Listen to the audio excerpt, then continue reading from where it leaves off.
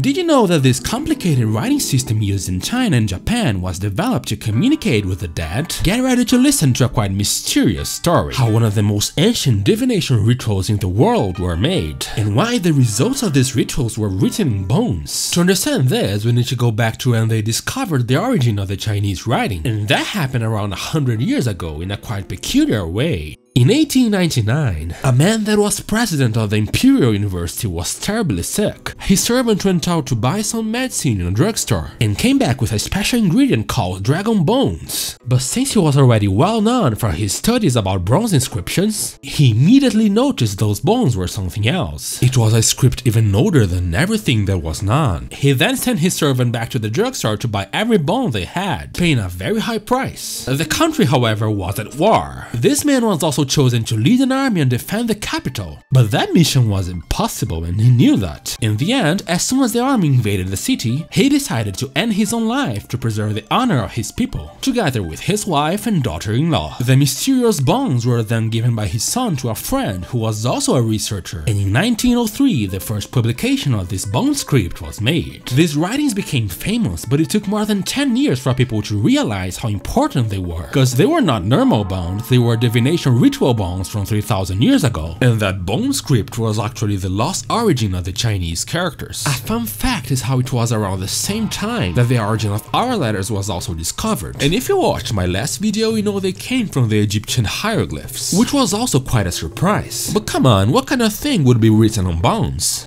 Let's read a bone to find out. Crack making on day 50. Young Divine. From today until day 54, will I be able to win a battle against the Zhou people? The king prognosticated. Down to day 54, we will not harm them. But on the coming day 1, we will succeed. It was a game of questions and answers, just like a Ouija board, but made with turtle belly bones. In this divination ritual, the diviner would put a question, make the ritual, then write down what the spirits of the dead And if you take a close look at these bones, you can see a quite interesting thing. Their backside is full of burns and holes. And by seeing this, we can clearly understand how the ritual was done. Let's take a look. First you have to cut the connections between belly and shell, and in the backside you made a small hole. The person would then voice the question to the dead. Then you would heat up a stick to high temperatures and stick it into the hole, and since it's that hot, it would crack the bone, always in a shape that resembles a T. This shape explains the Chinese character for divination,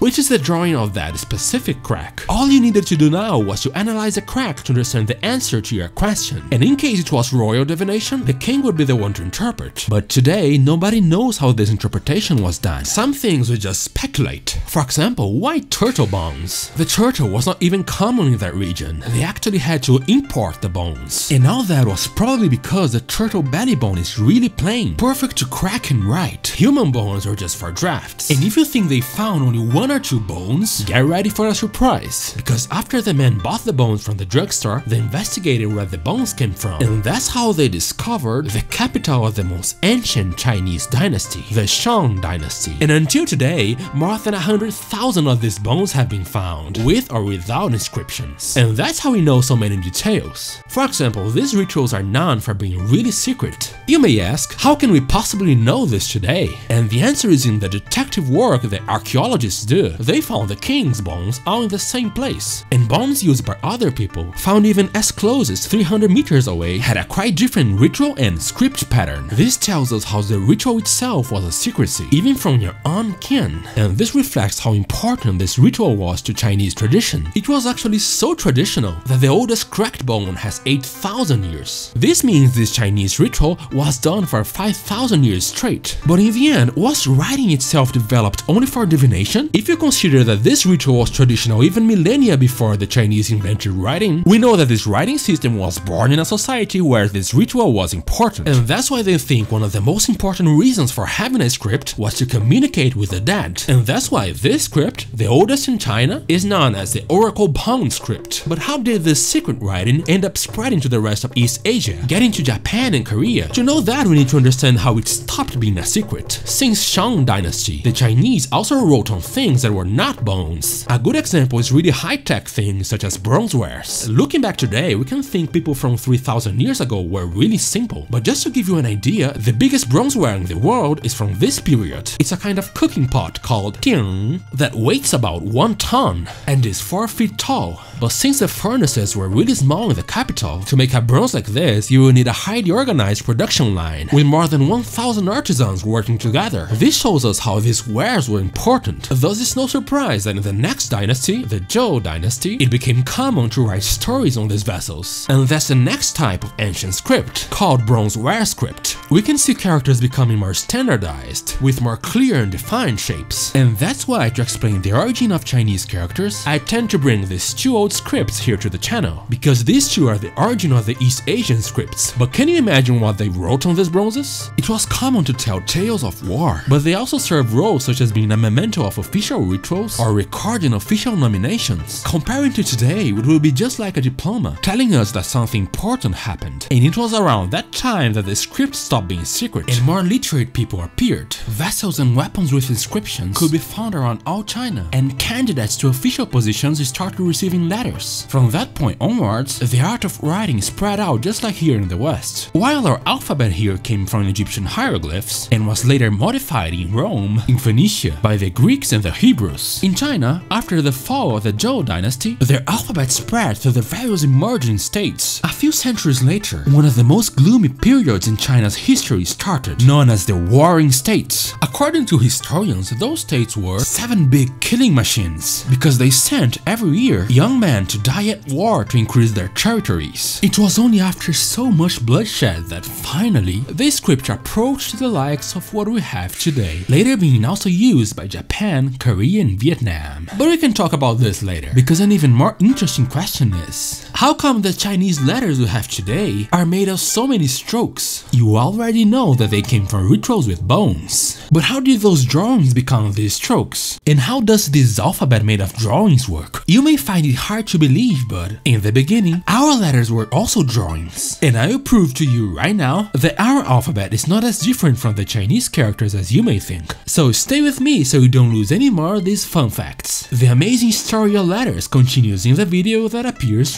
right now.